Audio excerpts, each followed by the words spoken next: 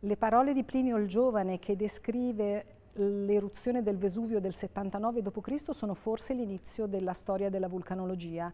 Si tratta della prima testimonianza diretta e scritta eh, che descrive un'eruzione vulcanica esplosiva. Sono passati molti anni dall'eruzione quando eh, Plinio il Giovane scrive a Tacito per raccontare della morte dello zio Plinio il Vecchio, ma il racconto rimane nitido e preciso. La testimonianza è talmente evocativa da lasciare tracce nella nomenclatura scientifica internazionale che oggi chiama pliniane quelle eruzioni particolarmente violente che sono in grado di sollevare la colonna eruttiva fino a oltre 10 km di altezza e che poi si allarga eh, in, in cielo come la chioma maestosa di un pino marittimo. Oggi sappiamo che nel corso dell'eruzione, durata circa 20 ore, la colonna eruttiva nel 79 d.C. ha raggiunto prima i 14 km e poi si è sollevata fino a 32 Nell'arco del, delle 20 ore è stato eruttato un volume di 4 km cubi di, di magma frammentato dalle esplosioni in pomici e, e, lapilli. Questo materiale, sollevato a grandi altezze dalla colonna eruttiva, viene sospinto dai venti e va a ricadere su una vastissima area a sud-est del vulcano. Il racconto di Plinio il Giovane descrive con molta efficacia la caduta di questa cenere così fitta da oscurare la luce del giorno. Quando, mentre Plinio il Vecchio si, si trova a Stabia, Pompei e Oplonti sono ricoperti da circa 3 metri di eh, ceneri. Il peso di questo materiale è sufficiente a causare il crollo di molti tetti delle case e, e causare così le prime vittime. Il maggiore disastro è dovuto al passaggio dei flussi piroclastici. Queste miscele incandescenti di gas e ceneri si formano quando il materiale eruttato è troppo pesante per essere sollevato in cielo nella colonna eruttiva e ricade lungo i fianchi del vulcano portando con sé tutto quello che incontra.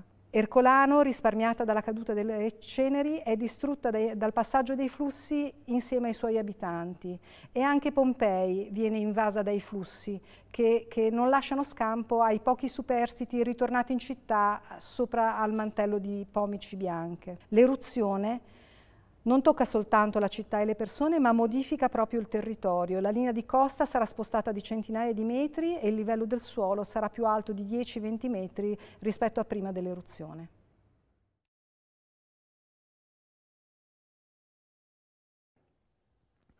Caro Tacito, mi chiedi di narrarti la morte di mio zio per poterla tramandare ai posteri con maggiore esattezza.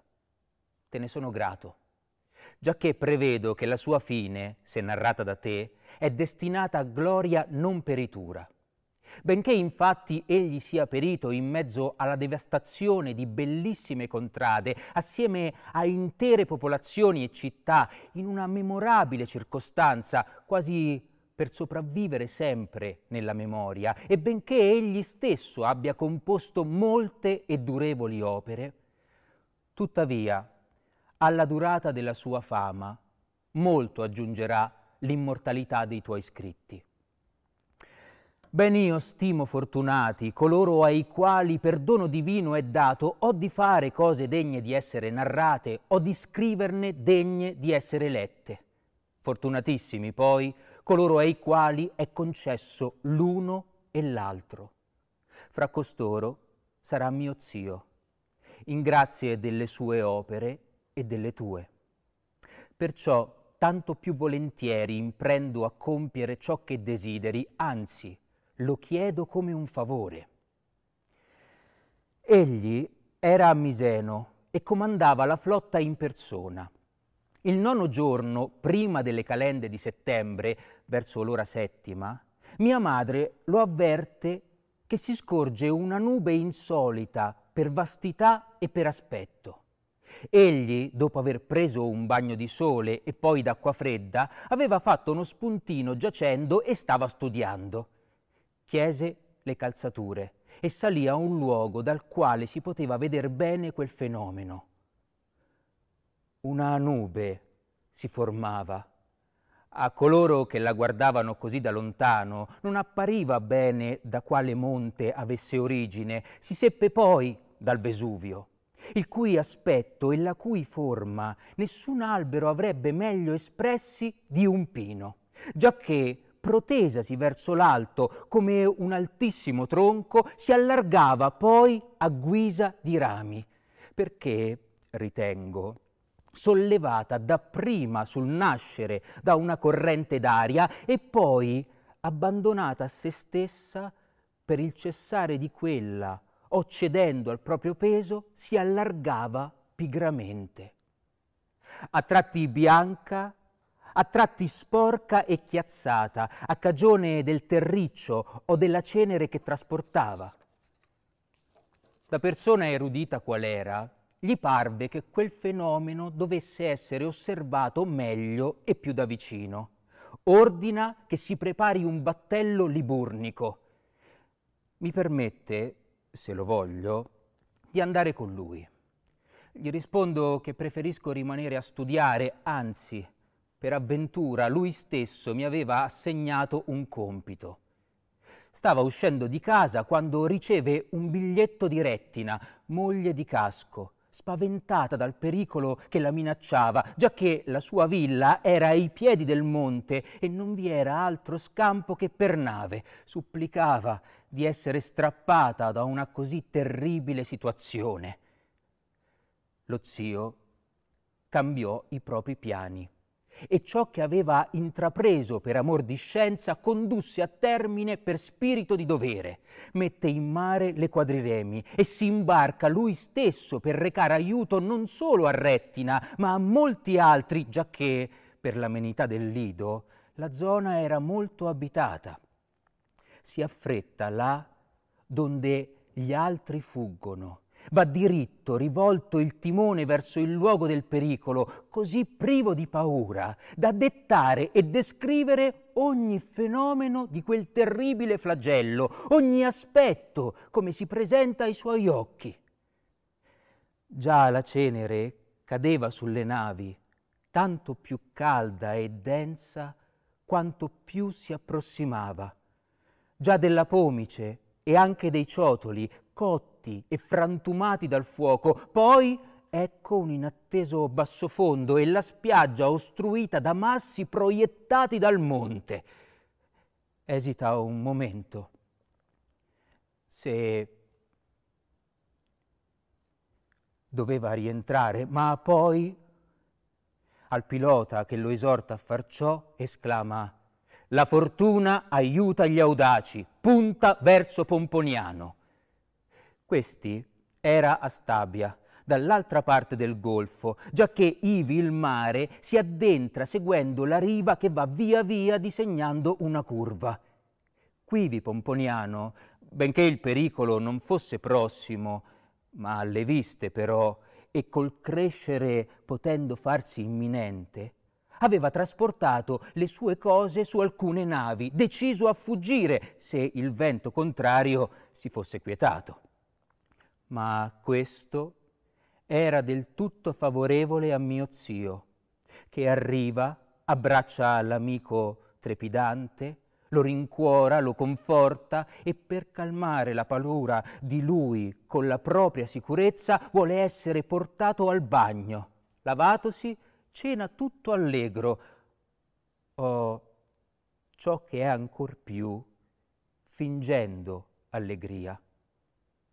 Frattanto dal monte Vesuvio in parecchi punti risplendevano larghissime fiamme e vasti incendi, il cui chiarore e la cui luce erano resi più vivi dalle tenebre notturne.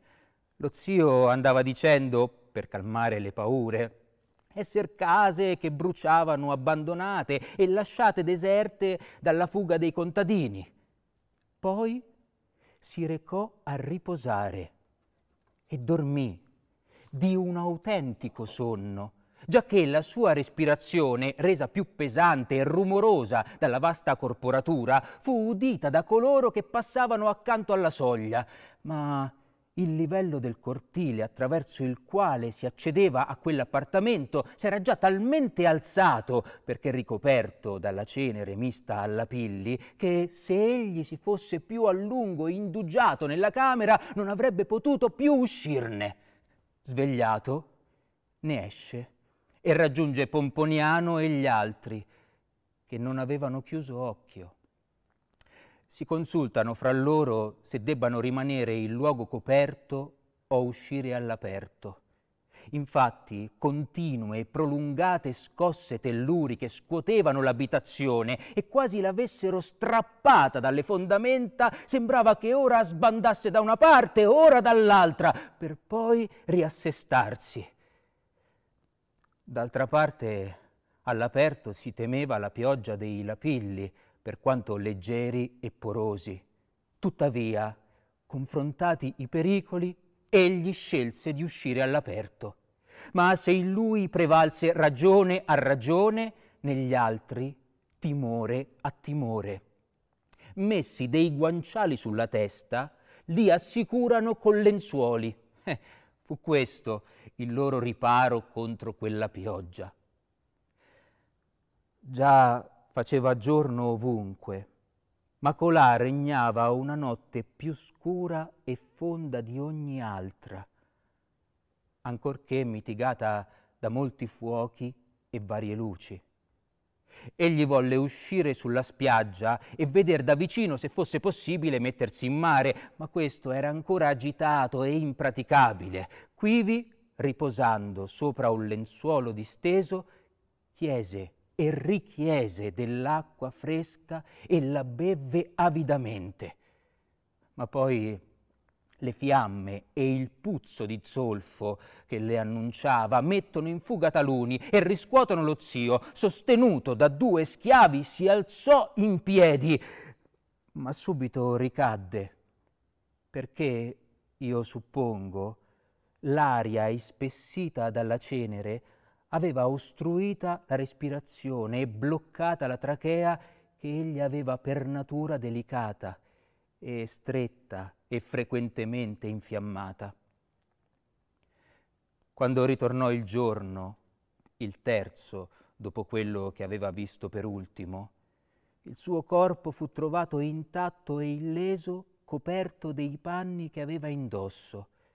L'aspetto più simile a un uomo che dorme che a un morto. Frattanto a Miseno, io e la mamma, ma ciò non importa alla storia, e tu non volevi conoscere altro che il racconto della sua morte. Faccio dunque punto.